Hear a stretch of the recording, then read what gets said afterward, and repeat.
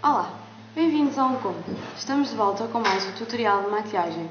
Neste vídeo vou-vos ensinar a aumentar a durabilidade do vosso batom. Vamos a isso?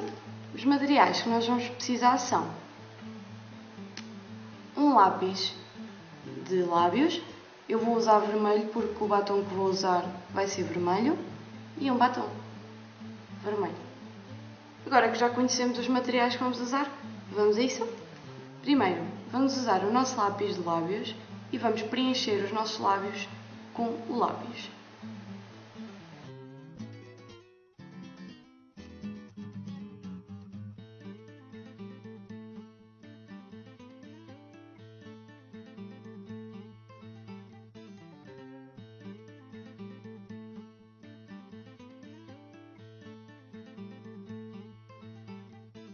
Agora que já temos os nossos lábios preenchidos, vamos utilizar o batom e vamos preencher os nossos lábios agora com o batom.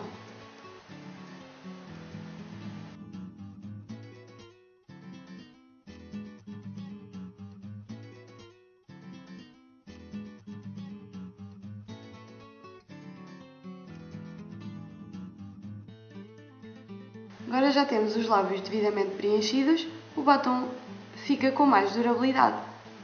Se gostou do nosso vídeo, subscreva o nosso canal, visite-nos também em www.uncom.com.br e veja também os nossos vídeos anteriores. Obrigada e até à próxima!